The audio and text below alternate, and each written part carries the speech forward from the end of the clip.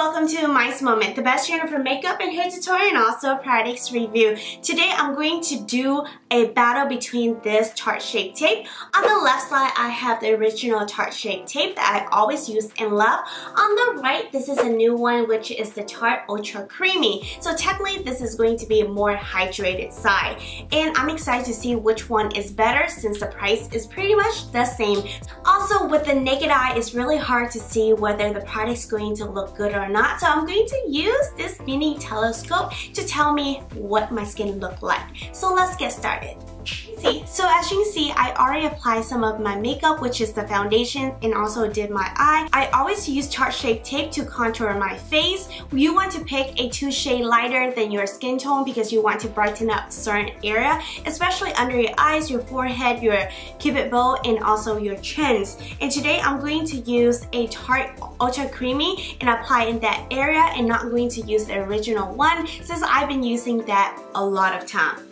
By the way, I'm using two concealers that in the same shade, which is light neutral. I'm going to start out with the Ultra Creamy first. I'm just going to apply one swipe under my eyes and also on the side. Then I'm going to move on to the cupid bow to brighten up that area, make it more plumps. Then I'm going to apply right under my chin, creating a small triangle. With the same Ultra Creams concealers, I'm also going to apply on my forehead. I'm going to draw a straight line and also two lines on the side.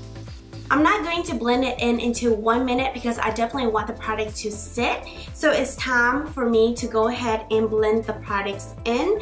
On the right side, as you can see, this is the uh, Ultra Creamy. So uh, as I can see right now that it's really easy to blend it out. And what I like to do is using the tip of this beauty sponge and really dig in uh, the wrinkle. So it's going to be packed with products so it's not going to show much of my baggy eyes, wrinkles, and also dark circles. So I'm just going to use a dabbing motion closely together and try to blend it out. It is super easy to blend, very smooth, and I don't have a hard time of blending it at all. So what I like to do is basically bring up the products that is left over right on the side of my hairline, but it's going to be going up instead of going sideways. Using a tapping motions and keep blending until everything look flawless. Okay, I'm also going to work on my left side to see how it, it goes and I'm going to try to blend it and bring it sideways. Really try to push the tip of this beauty sponge and pressing the products in under my eyes. This is going to help to fill in the gap of your wrinkle, so make sure to really press it in. Definitely a little bit harder to blend because it's not as creamy, but does not mean that it's not going to blend well. You definitely have to work at it more than on the right side. Then I would begin blending out the cupid bow and I found it's much easier whenever I press my lip together. And since this product it is a ultra cream, the product sat there for more than 2 to 3 minutes but it was able to shift around until I set the products with powder so it will not shift anywhere but it's super easy to blend and I did not need to use any force to move the products to the directions that I want Versus when I used the regular concealer, it gave me a hard time to really blend out the products if it has sat there for a long time. I really need to tuck and pull for the products to move. And I have to admit that the Ultra Creamy is so fast and easy to really blend it out versus the original one because it is very smooth. This is a very standard rules. Whenever you apply concealer, you definitely have to set it with a translucent powder. Since it's not able to set itself, it's going to shift anywhere and it's going to dig right onto your wrinkle. So especially under your eyes, if you are going to use a concealer, you definitely have to set it because is going to show creases everywhere throughout the day. I'm going to use this Airspun Loose Face Powder paired with a Beauty Blender Puff. And I'm going to use the tip of it and going to put the powder right on this cap and take the powder puff on the tip especially and grab some of the translucent powder and I'm going to press it in like this.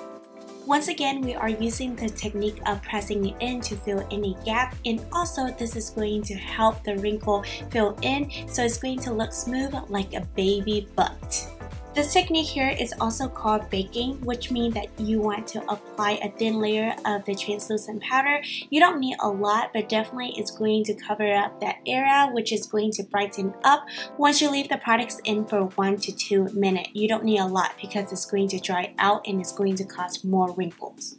You want to add translucent powders where you are applying concealers because this is going to help to set the products in and it's not going to shift around throughout the day and it's also a nice add-in to brighten up certain area. And lastly, I'm not going to forget to apply the translucent powders on my chin and also on my cupid bow because that's where I just applied concealer earlier. Make sure to wait at least 1 to 2 minutes before you're going to dust off the translucent powder with a face brush. I'm just going to use this and swipe away any excess that did not stay into my skins. I don't want to set it for too long because this is going to give me a flashback whenever I'm taking picture using a flash. Then what I like to do is actually apply all over my face with the leftover. I did not pick up any more translucent powder. It's whatever is going to be my face. I'm just going to apply all over because this is going to help to suck any oil that is going to show throughout the day. So after I apply concealers and also translucent powder, now it's time to check out to see if there's any major difference. So first thing that I have to admit that is going to be a great coverage, it is really smooth. It does not look like a second layer on top of my skins, which is really amazing. And the thing that I can see that on the right side, my wrinkle is less noticeable than my left side. I can see there is a little uh, crease more than on the right. But anything else, I don't see a major difference. But whenever I try to blend, definitely the creamier is going to win the race. It was really nice and smooth out to blend instead of really poking myself and trying to make the products move. This one, it will shift and move with you until the products is really set in it place and whenever you apply concealers in. I'm pretty sure my naked eye were not able to see the true. So I have to bring my friend in. This is a mini microscope to see right in your skins and let's see if there's any major difference that it picked up that I could not able to see. So this is the first time I ever tried to use this product. Apparently you have to connect to the Wi-Fi and click on the app in order to see. I basically don't know what I'm doing. Don't we all don't know what we're doing? Just basically like fake it till we make it. Okay, I think we are in. Yes, I'm going to do a video. And where am I? I can't see anything.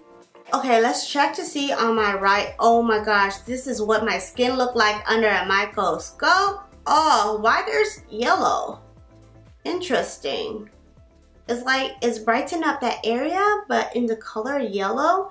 And apparently, that I tried to blend it really well, but I can see that the yellow colors basically sit between the crack or the wrinkle that I have. I don't know, but at least the foundation looked blended pretty well. Um, I have a lot of glitters that fall under my eyes since I use a, a glitter eyeshadows. It's just fall right under there, that's why. That's why you see a little speck of it. Ooh, look at that hair. Oh, I did not know I have hair on the side of my face. I mean, right here, yeah, but not right here though. Interesting. So I'm going to place it right under my eyes again. Ooh, look at that. It's so interesting. Oh, oh, oh, hey, hello, I saw something. Oh my gosh, what the heck? Hello friends. I have a little hair right under my eyes. Interesting. Okay, let's check on the right since it's not a major thing.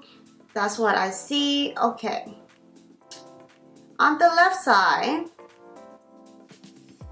it's, it's drying. Oh my gosh, look at that.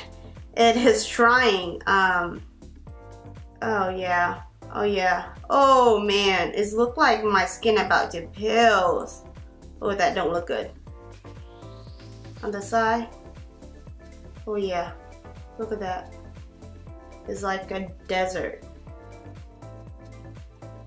Oh my gosh, look at that. Oh my gosh, look at that. It's like a freaking desert.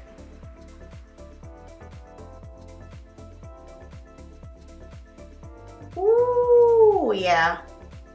Yeah, under the microscope, I can definitely tell the difference that it is super dry under my eyes, which guarantee throughout the day is going to show some of the um, crease since it's really dry. Look at that. Like this place is like looks so bad right under between my eyes. Oh my gosh, this part is hilarious. Oh my gosh, look at that wrinkle. Can you see it? It is just really bad. Well, jumping into the second day, and apparently I did not get to finish the products review today, so I'm going to be here and do the closing for you guys. Plus, I got a chance to wear for 8 hours, so I can see the difference at the end of the day. Unfortunately, I did not have a picture to show you, but today I did use the Tarte Ultra Creamies to do my makeup, and it's just like absolutely amazing. It is melt like a dream, really easy to blend, and then it just looked great, and it felt like, you know, one layer of skin instead of two layer because you actually use a concealers on top of the foundations.